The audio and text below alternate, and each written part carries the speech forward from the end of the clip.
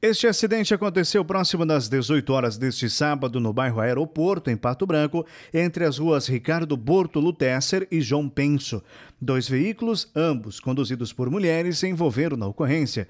Este gol e um polo que, após o impacto, acabou batendo contra um poste de energia elétrica. Parte do bairro acabou ficando sem energia. Uma empresa terceirizada da Copel foi acionada para os reparos e restabelecimento da energia.